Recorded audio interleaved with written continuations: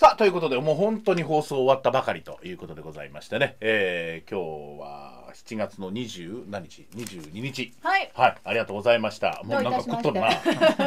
いきなりグッとんな。終わってすぐにチエネルギーョコレートで。チャージね。はい。だって今日は女賢者林智美のコーナーが多くて疲れたんですもん。い えええ。え笑い疲れましたね。ややっぱりね。福本さん素晴らしいですね。ねなんかそのね、うん。話してたんですけど、はい福本さんとのコンビ、うん。福本さんの他の実況を聞いていてもやっぱちょっとユージさんと組む時の空気感はやっぱ少し違うのかなって思うんですがそういうのひょっとしたらそういうこととがあるかもね。僕はだからまあふそんな福本さんとのコンビでしかもう感覚がないからね、はいこれが普通だと思ってますけど、うん。確かに他の人との組み合わせで言うと福本さんもっと他の人とのアナウンサーの時は緊張感を持ってやった、え え。あのねきっちりしたはる。きっちりしてある。きっさんの時のリラックス感はやっぱりなんかね気がしますよ、わかんないですけどね。それは私としては捉えたいというかね、そういう。えいい意味だとはね。家にいてねソファーにこうもたれながら放送を聞いてるっていうぐらいのリラックス感で。まあそうなんですよ。リスナーの皆さんにもそういうふうに聞いてもらいたいという思いがね、えー、福本さんがまず自演ねしてくださってるという感じですけどね。まあでもあうんのう呼吸があるんでしょうね、やっぱそういうコンビのその空気感ってそれぞれの実況アナウンサーとはい。解説の方ってやっぱあるもんですか、ありますしね、うん。でなんていうのかな。僕の場合はですけどもね、はいはい。まあ別に福本さんに限らずなんですけど、うん。おしゃべりになりたい時にどうぞっていうスタイルを胸としてるんですよ。ほうほうほうほう。自分からあれ聞きたいこれ聞きたいというねその欲求探求心がゼロな中継なので。ほんまや、はい。他のスポーツアナウンサーみんな質問してはる、質問してる、はい。ユージさんはうん、自分が喋ってる、そうそう。だから私のしゃべりの中で不足部分がもしあるならばどうぞおしゃべりくださいという感じなので、はい。それはあかんと思うんだけどな。ええ、いやいやまあそれはそれで、まあ、楽していただけるケースもあるし。あえー。え、だって解説者2人にさ質問しようとその昔ね、うん。稲尾和久という方と、はい。前見明信という方ね、はい。2人が指定コンビでもあるんですけどね、はい。ええ。ええその2人を来ていただいて、うんうんうんええあの千葉マリンスタジアムでのゲーム中継してた時にね2人とも全然違うことしててゲーム見てへんようになりましてね。ええでもう質問してんねんけど、え俺に対する質問か今の？みたいな感じになって。お互いがお互いに譲り合うっていうね、その当時はだから僕も質問をするアナウンサーだったんですけどね。ええ。あそんな時代もあったんですか？あったんですあったんです。それでもう先人の谷に突き落とされましたから。もういいと。もういいと。俺が喋る。俺が喋る。なんか言いたいことがあったらどうぞみたいな。そういう中継をそこで編み出したんですね、ええ千葉でやったヤクルト戦なんですよ。あもうめっちゃ覚えてらっしゃるんですそうのねその後のねあの日本のいわゆる侍ジャパンの監督にもあった稲葉さんが、ええ日本歌さんもホームラン打ってむちゃくちゃにされたゲームなんですけどねはい。あ悔しくて覚えてるんですね。はいそうそうそうはい。という試合のところでだからアナウンサー喋るにも限界あるじゃないですか。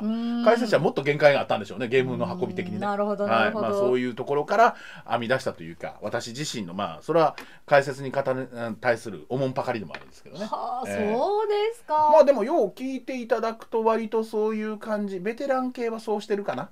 あ。しりゅうちゃんもまあどちらかというとそっち系。間で質問とも取れるし実況とも取れるっていうそういう描写を上手にやるんですよ。それは素晴らしいテクニックですよね、はい、これこのテクニックの中で引っかかったコメントとかそれがあればずっと乗っかってきはるとかね。えーあるいはまあそこちょっと笑っていただくケースがあったりとか。いろいろまあ組み合わせながらやるっていうのはね割とベテラン系まあガッチとかね、はいはいはい。あの辺ぐらいはみんなそういう中継やりますよ。はあ、はい。ここちょっと注目して他のねスポーツアナウンサーと聞き比べてみるっていうのは、一つちょっと面白いポイントポイントとしてはね。だからあのースタイル、うん、今日デビューというかねあのこの番組内デビューにもなったという小光アナウンサーとかね。小渕アナウンサーはスポーツアナ目指してるんですかね。うんと本人はね言っておりますんでね。ね。はい、あの寛大な気持ちで迎えたいなと思っておりますがね、ええ。で大仁田さんもすごい阪神のこと大好きなんで,、ねそうですよね。ねあのヒロドさんがまあねフリーの道を歩んだ、今実は阪神を大応援する女性アナウンサーの枠っていうのはみんながあの取り合い状態になってますからね。そうなんだ、はい。もうその資格十分ありという2人なんで。5歳から好きって言ってましたからね。えええ。で2005年のその優勝の時をなんとなく覚えてるっていうね。ねえ。え5歳の時なんか覚えてます？鼻垂らして。鼻垂らして。それは世間の5歳に失礼です。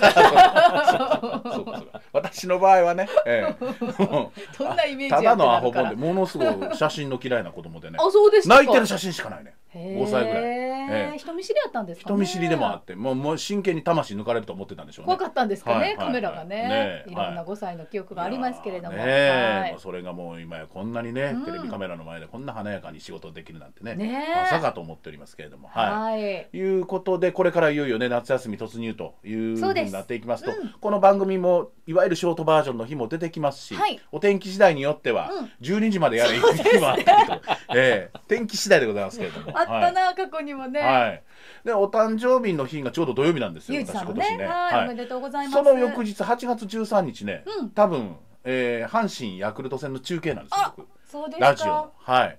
まあ忙しい。8月分もここでまた蓄積されていくというこあよ。しなあかん。だからちょいちょいちょっとスペシャルを挟みながらあの、頑張って消化していきたいと思います。ますんでね、はい、えー、女検事今日はね新しいパターンでやらせていただきますけど、はい。またやりますんで。満腹なぐらいねお聞きいただいたでしょうか。はい、はい。えー今も、えー、鋭意増産中でございますんでぜひね普段の中継でお聞きいただき再びここでねえー再度確認して笑っていただくと。あこういう感じでと、ね。ラジコで繰り返し聞いていただけたら返ねしはい。はい、ええ。ありがたいです。一回アクセスすると24時間で切れますから早めに聞いていただきたい早めにいっぱい聞いていただいということでございてましてね。でまた、はい。あの変なこと言うてたはい。よというのがありましたら、番組までメールを。どどこどこどこどこ？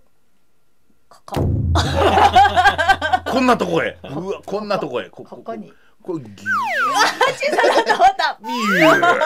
怒られるよ。電話かかるよって、はい。またメールもお待ちしております、またよろしくお願いしはいますまた来週です